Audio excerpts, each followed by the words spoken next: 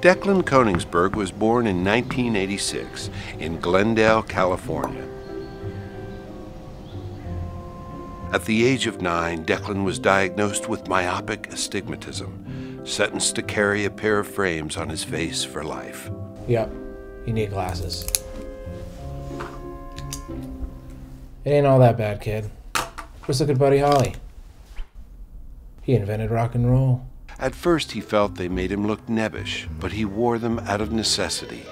Sometime in the early aughts, Declan became in vogue with the emergence of geek chic. That's when he embraced his second set of eyes, and the glasses became his identity. Over the years, his frames got bolder and bigger. Declan looked to his four eyed predecessors, getting lost in the neurosis of Woody Allen, the tunes of Elvis Costello, the literary works of Truman Capote. Declan liked his dark rimmed frames very much, and they never really got in his way. Well, except for when waking up, when shaving, and taking photographs. Declan never realized his glasses created a buffer between himself and the world. He never experienced true intimacy. Declan feared he would never find true love.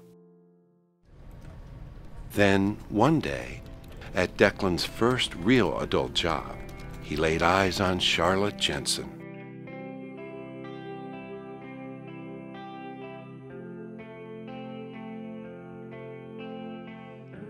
After months of flirting with the idea, he finally asked her out. It was clear that his feelings were reciprocated right from the start, and they had many things in common. Charlotte was a dream come true for Declan.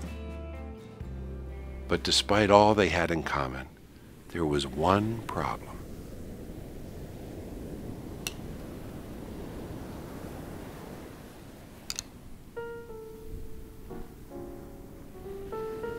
But in the end, Charlotte won over the beloved horn rims.